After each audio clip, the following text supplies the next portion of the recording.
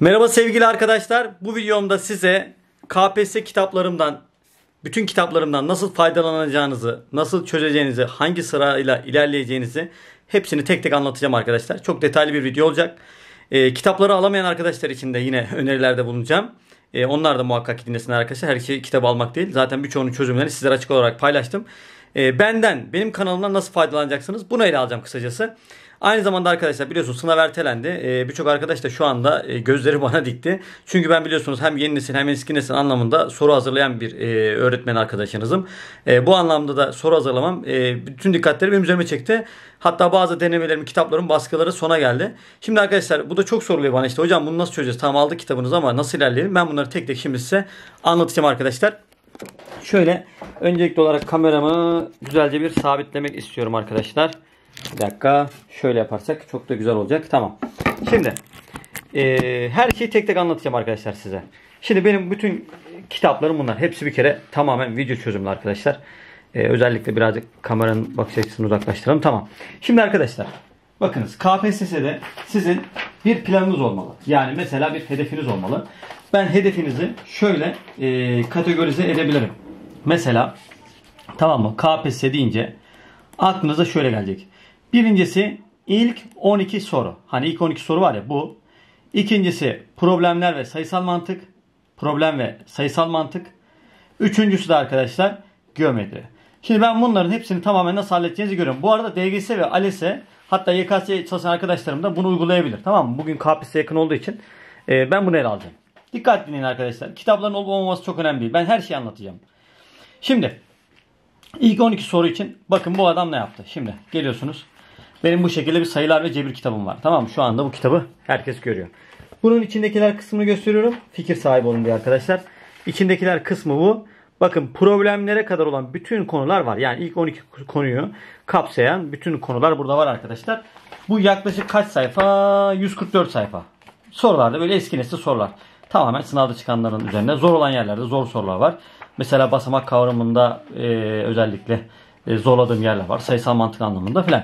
Şimdi bunu ben neresi için hazırladım? 2 12 soru için hazırladım. Sonra dedim ki yani bunu tamam kitapta öğrencim e, bunu çözecek. Peki bunun konu anlatımı var mı? O da var. Nerede var?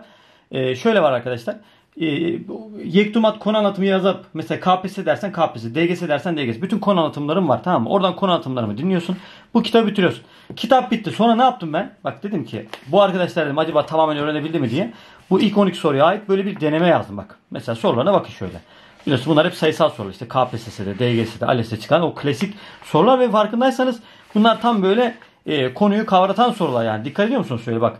Böyle e, çok easy sorular. Mesela şuna dikkat edin bak bu soruyu sınavda bekliyorum haberiniz olsun. E, mesela bak böyle sorular. Şimdi bu tamam mı? Adı DGS ise aldanmayız. Hani beni takip ediyorsanız benim e, nasıl biri olduğumu da biliyorsunuz. Yani burada DGS'yi çıkar, DGS KPSS ALES yazacaktım. Yazamadık. E, buranın DGS olduğuna bakmayın arkadaşlar. Sen bunu bitirdiğin anda şu ikisini KPSS'nin 12 sorusunu fullleme şansın yok gibi. Yani ben fullleyemeyeceğini düşünmüyorum. Anladın mı? 12 soru için şu ikisini yaz. Ve sonra dedik ki arkadaşlar hani bak burayı nasıl, nasıl bitiriyorsun söyle. KPSS konu e, anlatım videolarımı dinliyorsun. Şu kitabı çözüyorsun. Sonra bunu. Bak bir şey bir şey diyeceğim. Şu anda bu bu seneki tayfaya özel ben bunların çözümlerini kapamadım hala. Çözümleri açık ama e, bunlar da gerçekten ya şu kitap işte 9 lira mı ne? Şu da 20-30 lira bir şey yani arkadaşlar. Hani bunları pdf versem size 200 kaç sayfa yapıyor? 200 sayfa yapıyor. Ya o paraları alamazsınız. Bak bunu da açık söyleyeyim. Bazı arkadaşlar pdf falan yapıyor, yapıyorlar. Telegram gruplarında görüyorum. Hiç gerek yok yani. En azından bende gerek yok yani. E, yapmayın yani. Hiç gerek yok. Alın bunları. Alamıyorsanız da bak çözümleri zaten var diyorum. Tamam mı?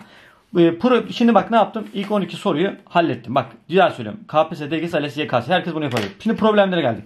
Şimdi bak benim problemlerde neyim var? İşte problemler zaten benim e, en önem verdiğim yer ve en güçlü kanadım. Şimdi arkadaşlar problemlere geldiğiniz zaman şöyle bir olayla karşılaşıyorsun. Bir kere konu anlatımı. Arkadaşlar 21 saatte problemler yazdığınız zaman YouTube'a benim orada tam 85 sayfa ücretsiz pdf. Zaten bunun ücretli hali yok. 85 sayfa ücretsiz bir pdf olan konu anlatımı var. Mesela oradan sayı kesir problemlerini açtın dinledin. Sonra geliyorsun bak bu kitabın sayı kesir problemlerine geliyorsun. Şimdi bu kitabın sayı kesir problemleri kaç test Bak yeni nesil eski nesil her soru tipi var. Şimdi göre bak şöyle göstereyim. Ben her şeyi taradım arkadaşlar. Yani e, ALES, DGS, KPSS hepsini tarayarak yazdım bu kitabı. Bak klasik e, işte şekilli, şekilsiz. Bazı yerlerde mesela şekil sorular daha fazla. Bak benim mesela sayı kesirde kaç testim var görüyor musun? Evet, bak 25 tane test yazmışım bak 25 tane test. Sen bu soruları çözdükten sonra sen kaya gibi oluyorsun zaten tamam mı? Sınavdaki soru sana çek, e, kek ke- çerez geliyor. Bak bunun da çözümlerini kapamadım sana bak yine söylüyorum. Şimdi ne yaptın? KPSS 21 saatlik problem videosundan sayı kesiri dinledin sonra geldin buradan çözdün tamam mı? Sonra geçtin sayı kesirden sonra ne geliyor? Bak yüzde problemleri geliyor. Bak yine ben yüzde problemlerini de sözün meclis sırrı hayvan gibi test ekledim. Neden? Çünkü yüzde problemlerini her şeyi entegre edebiliyorlar. Bu tepkileri alacağıma rağmen bak 17 tane test ekledim. Ve, o, ve soruları görüyorsunuz değil mi? XX'li sorular da var. Tabii böyle sorular da var. Bak böyle konuşma metinli işte şekilli grafikli her şey var. Bunları da bitirdikten sonra işte sırayla bütün konulara gidiyorsun. İşte mesela konular ne? Bak içeriğini de sana göstereyim. Çok soruluyor bunlar. İşte şunlar görüyorsun konular bunlar. Ve sayfa sayısı 196. Şimdi bunu da böyle bitirirken bitirdin. Asıl ondan sonraki bombaya geliyorum. Ondan sonraki bomba şu. Benim şöyle bir 8 çarpı 12 denemem var tamam mı? 8 çarpı 12 denememde tüm problemleri ele alıyorum. Ve onun da bak sana yine içeriğini şöyle gösteriyorum dikkat et. Her türlü soru tipi var. Konuşmalı, metinli işte yakın zamanda ne çıkmış, ÖSYM'de sormuş. Hep böyle bütün soru tipleri var.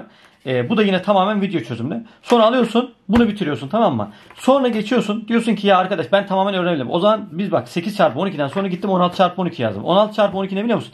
Yarısı ÖSYM'nin TYT soruları, yarısı benim sorularım. Bak mesela ilk sayfasını göstereyim. Dehşetül, dehşet sorular var yani. Bak şu sorular seni var ya taş gibi kaya gibi yapacak. Öbür sayfa açmıyorum. ÖSYM soruları var. Telif atıyorlar. Ee, bu da kaç sayfa arkadaşlar? Sadece onu söyleyeyim sayfa sayısını. Şöyle çekiyorum alttan. 64 sayfa bu.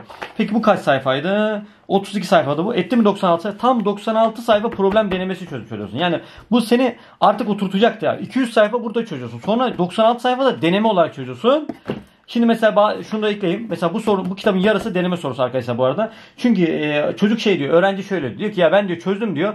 Arkadaşımız söyle diyor. Diyor ki ben çözdüm ama diyor sınavda yapamıyorum. O yüzden ben ne yaptım? Deneme sorularını direkt koydum arkadaşlar. Yani deneme soruları e, direkt var. O yüzden hani buna da e, dikkat edeceksiniz. Dediğim gibi arkadaşlar e, burada en önemli nokta bu. Bir dakikanızı istiyorum.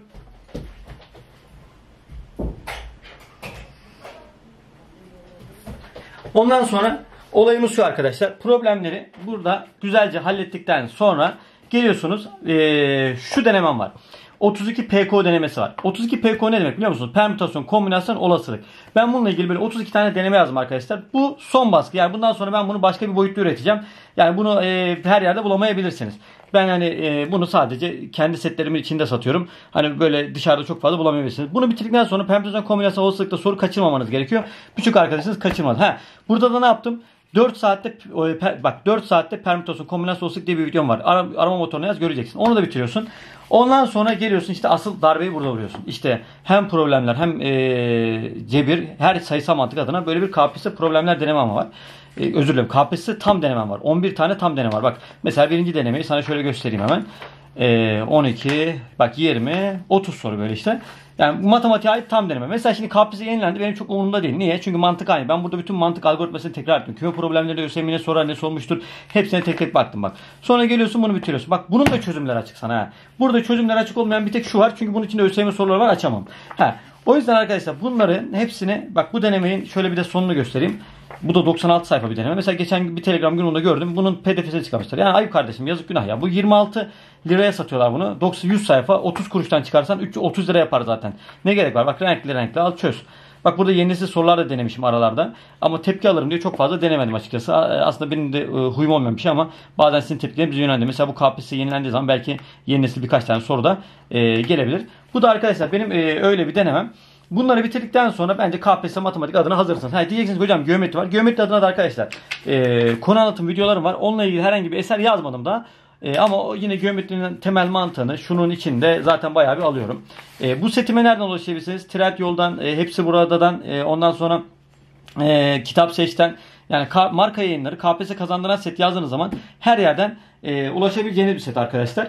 Yani setin genel içeriği böyle. Bütün video konu anlatımlarım herkese açık. Bak yine bunların çözümleri de herkese açık. Hani ben bu seneye özgü kapa kapamayacağım. Aslında bunlar emek yani arkadaşlar. Bunlar yani böyle olmak zorunda değil emin olun. Marka yayınlarına ben bu anlamda çok teşekkür ederim. Yani şuradaki e, kitapları tek tek alsanız dünya kadar e, şey tutar ama şu anda hala e, bir politikası var marka yayınlarının. E, bu anlamda da e, ben e, memnunum.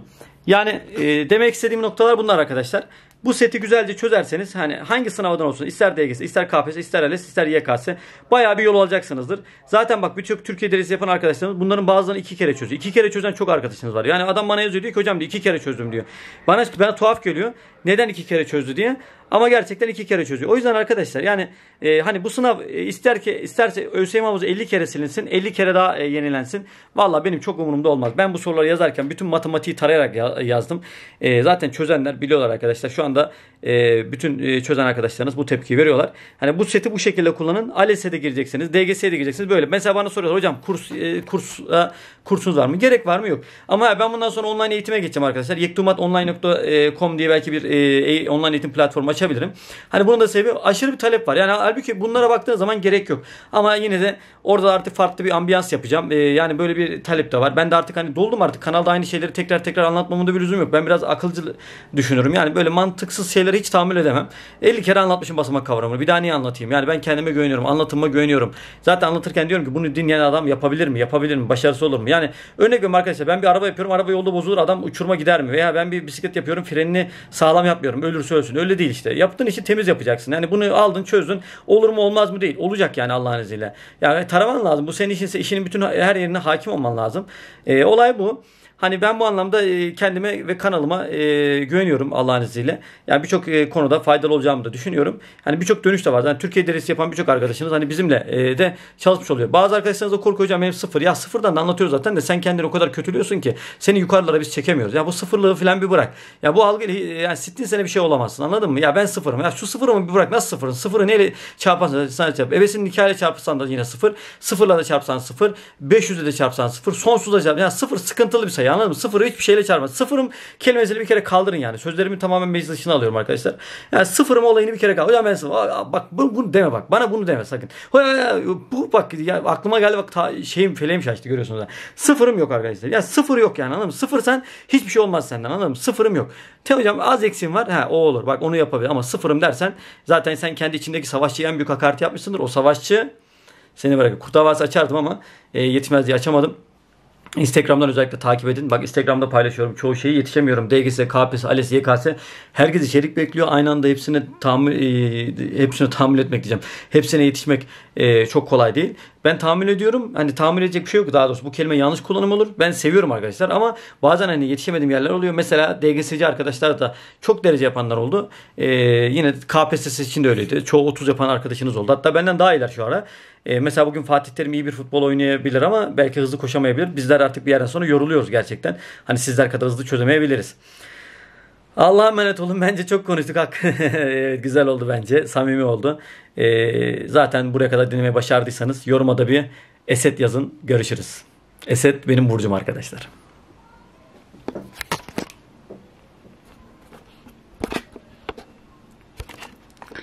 Yaser ne oldu?